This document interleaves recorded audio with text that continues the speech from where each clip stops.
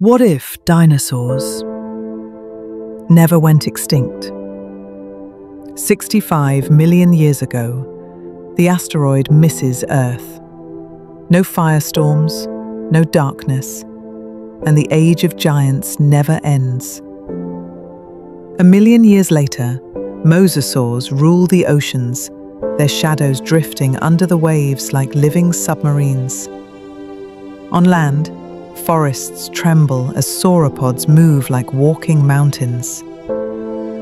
Fast forward tens of millions of years, mammals stay small, hiding. Humans? We might never evolve at all. But imagine we did.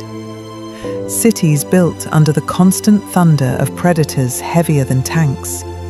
Skyscrapers reinforced, roads raised above the ground, because even a curious T-Rex could crush a car just by leaning on it. Nighttime sirens, warning of raptors hunting in coordinated packs.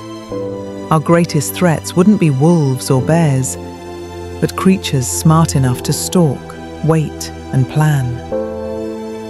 The world's ecosystems? Unrecognizable.